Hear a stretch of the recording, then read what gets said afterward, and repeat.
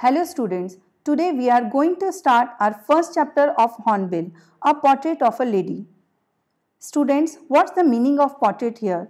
The portrait means चित्रण, एक lady का चित्रण. जब हम किसी के बारे में वर्णन करते हैं तब हम उसे portrait कहते हैं. So students, here we are describing the portrait of a lady who is the writer's grandmother.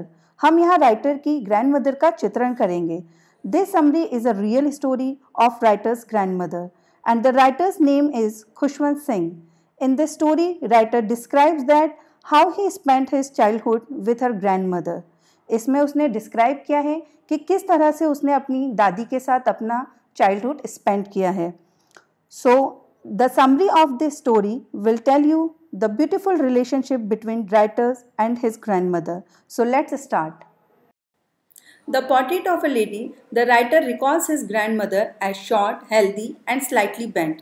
Portrait of lady में राइटर अपनी ग्रैंडमदर को याद करते हुए कहते हैं कि वह छोटे कद की मोटी और थोड़ी सी झुकी हुई दिखती थी her hair were silver in colour and were scattered messily on her wrinkled face उनके सिल्वर कलर के हेयर उनकी झुर्रियों वाले चेहरे पर अस्त व्यस्त तरीके से फैले हुए रहते थे। यहाँ स्टूडेंट्स स्कैटर्ड मीन्स होता है, बिखरे हुए और मैसिली मीन्स होता है अस्त व्यस्त she use to walk around the whole house in white clothes वह सफ़ेद कपड़ों में पूरे घर में घुमा करती थी। She kept her one hand resting on her waist and the other hand was telling the beads of her rosary उनका एक हाथ हमेशा वेस्ट पर रहता था और दूसरे हाथ में उनके जब करने वाली माला रहती थी। The writer thinks of her as not very pretty, but constantly beautiful all the time. सभी लोगों का ये कहना था कि उनकी दादी यंग एज में बहुत सुंदर हुआ करती थी, पर राइटर ऐसा नहीं सोचते थे, क्योंकि उन्होंने अपनी दादी को चाइल्डहुड से ही ओल्ड देखा था। ही compares her calm face with the winter landscape वह उनके काम फेस को विंटर लैंडस्केप से कंपेयर करते थे। स्टूडेंट्स यहाँ विंटर लैंडस्केप मीन्स सफ़ेद कलर के पर्वत।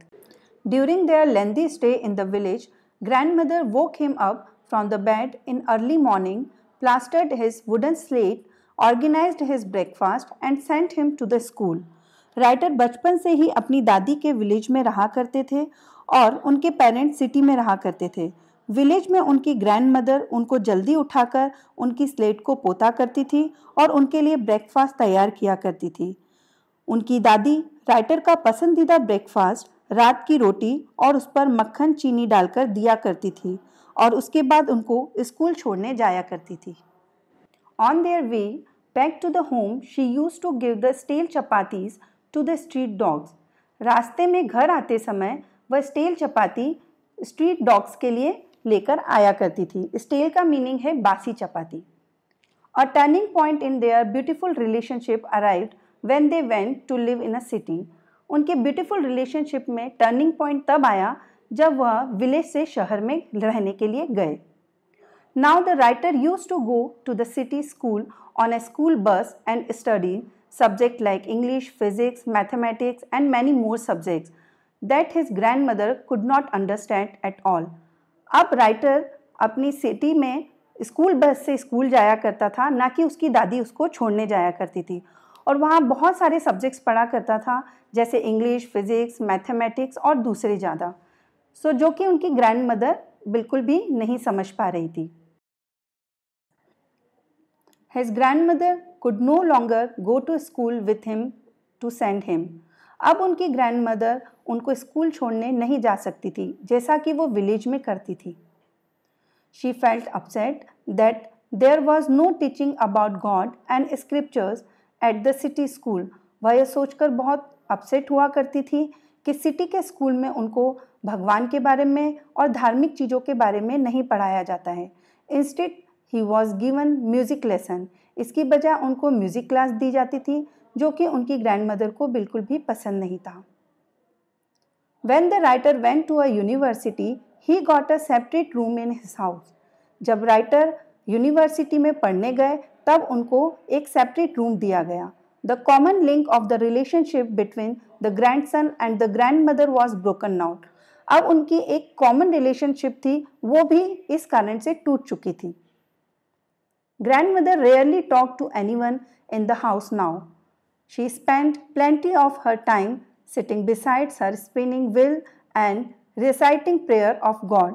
Grandmother अब किसी से रेयरली बात किया करती थी वह अपने आप में चुप रहती थी और वह अपना ज़्यादा से ज़्यादा समय चरखा चलाने और भगवान की प्रेयर में लगाया करती थी she started feeding the sparrow birds in the afternoon और वह दिन में वहाँ पर ढेर सारी स्पैरो थी उनको खाना खिलाया करती थी When the writer left for abroad for his further studies, his grandmother didn't get disturb at all जब राइटर अपनी आगे की स्टडी के लिए अब्रॉड जाने लगे, तब उनकी ग्रैंडमदर बिल्कुल भी डिस्टर्ब नहीं हुई। Rather she saw him off at the airport और वो उनको एयरपोर्ट छोड़ने भी आई।